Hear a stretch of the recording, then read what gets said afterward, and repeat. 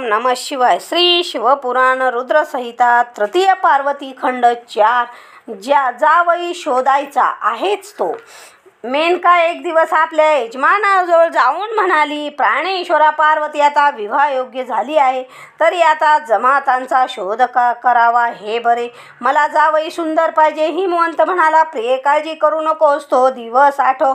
आपुले नुकतेच लग्न झाले होते. सर्व देवदेवता विष्णू ब्रह्मा साधू संत इत्यादी झाडून सगळे आपले राजप्रसादात आले होते.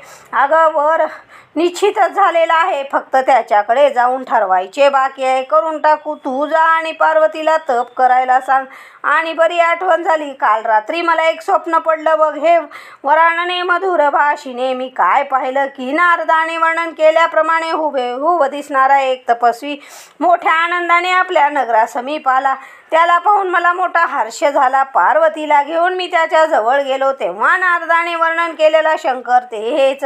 असे माझ्या लक्षात आले. तेव्हा त्यांची सेवा करण्यास तू राहावे असे पार्वती सांगितले व शिवासही प्रार्थना केली की त्यांची सेवा ती त्या- त्यांनी तिची सेवा स्वीकारावी. परंतु ही गोष्ट त्यांना पटली नाही. इतक्यात तिथे साख्य वे वेदांता वर खूप वादंग माजले मग शिवाज्ञेने पार्वती तिथेच राहिली व भक्तियुक्त भक्तिपूर्वक त्यांची सेवा करू लागली. म्हणून मी म्हणतो लाडके आपण थोडे दिवस थांबूया. होय ना तेथून मेनका पार्वतीकडे गेली.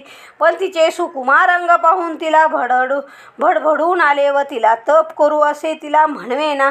पार्वतीने आईची मनस्थिती ओळखली. तिच्या गळ्यात हात टाकून पार्वती आईला बिलगली व हसून म्हणाली आई एक गंमत सांगू मला पहाटे. एक स्वप्न पडले. स्वप्नात एक दयाळू व तपस्वी असा ब्राह्मण आला व त्याने मला शिवोपासना करावी. हे शिकवले. स्वप्न ऐकून मेन का आश्चर्याचे की झाली. एकाच दिवशी मुलीला व बापाला जवळजवळ सारखीच स्वप्ने पडावे. यात काही गूढ आहे नियती ही सूचना देते. मग तिला जगदंबेचे आश्वासन आठवले. व ती निश्चित झाली. काही दिवसानंतर शंकराची स्वारी त्याच नगराबाहेर तपश्चर्या येऊन बसला. आणि पार्वती आपल्या सखींना घेऊन तेथे त्यांची सेवा करू लागली. निर्विकार मनाने शिवतप करतात हे पाहून देवानी. कामदेवाला पाठविले. पण शिवाने तृतीय नेत्र उघडून त्यांचे भस्म केले व मुनी वचनांची त्यांना आठवण झाली व ते अंतर्धान पावले. पश्चात पार्वतीने महान तप करून शिवास प्रसन्न केले. विष्णूच्या आज्ञेने शिवशंकराने पार्वतीशी विवाह केला. ओम नम शिवाय.